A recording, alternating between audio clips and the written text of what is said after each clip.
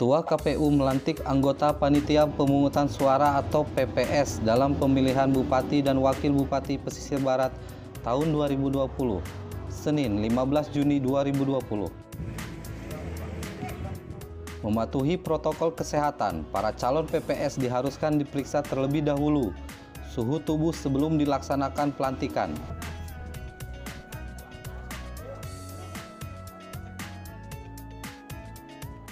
Berdasarkan surat Ketua KPU RI nomor 441 garing PL titik 02 strip SD garing 01 garing KPU garing 6 Romawi garing 2020 tentang pengaktifkan kembali PPK dan PPS pada pemilu tahun 2020 KPU Kabupaten Pesisir Barat.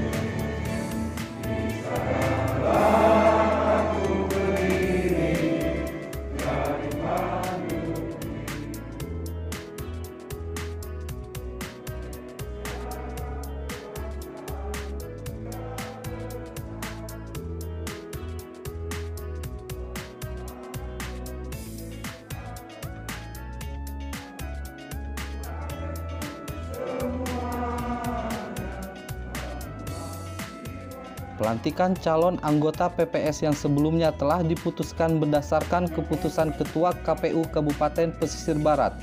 Nomor 39 garing PP titik 04 strip KPT garing 1813 garing KPU strip Kap garing 3 Romawi garing 2020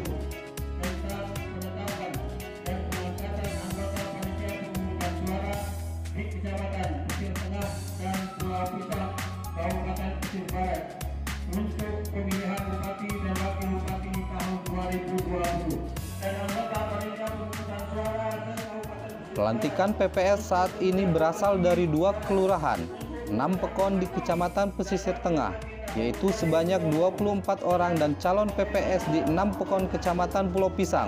Sebanyak 18 orang dilaksanakan secara bersamaan, yaitu di Kecamatan Pesisir Tengah. Selanjutnya, saya perlu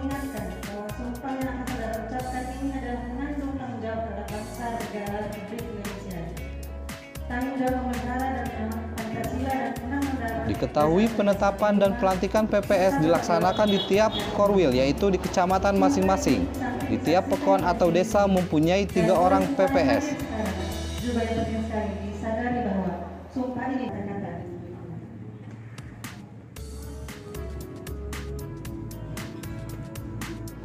Untuk itu, Marlini berharap kepada rekan-rekan PPS agar mampu menjalankan tupoksinya sesuai dengan tugasnya masing-masing dan tentunya tetap menjalankan protokol kesehatan.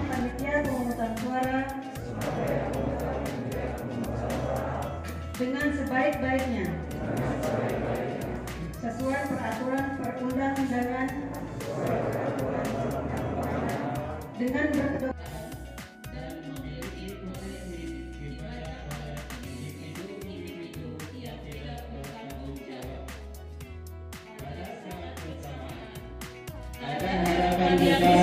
besar dari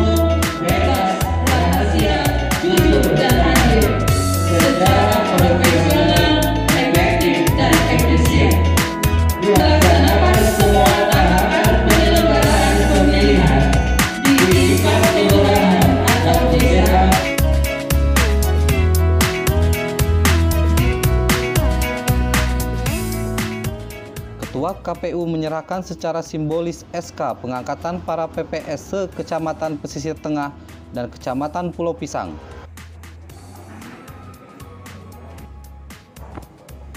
Setelah penandatanganan berita acara dilanjutkan sumpah pelantikan anggota panitia pemungutan suara kepada Roni Rohaniawan untuk bersiap-siap. Bahwa saya akan memenuhi tugas dan kewajiban saya.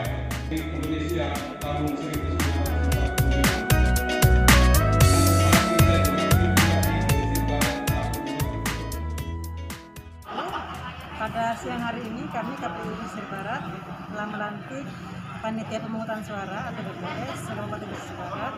Jumlahnya 354 orang di mana kami bagi ke dalam lima titik masing-masing kami korwil dibagi di ke kecamatan masing-masing.